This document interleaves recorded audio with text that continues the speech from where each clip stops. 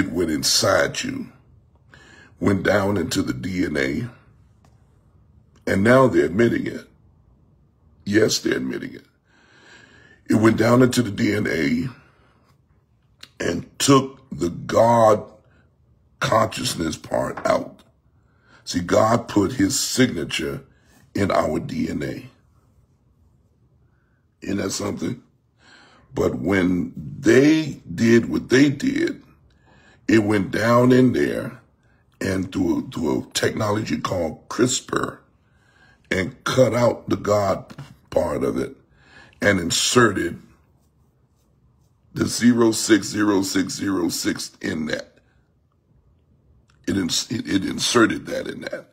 So the people didn't realize that they were being altered like that.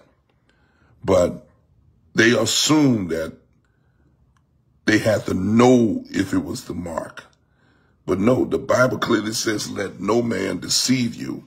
So when you saw everything going on with COVID, that was your cue to know that we were in end time activities.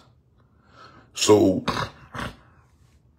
your good pastor, which some of you didn't have, was supposed to see the judgment coming or see the handwriting on the wall and blow the trumpet to you.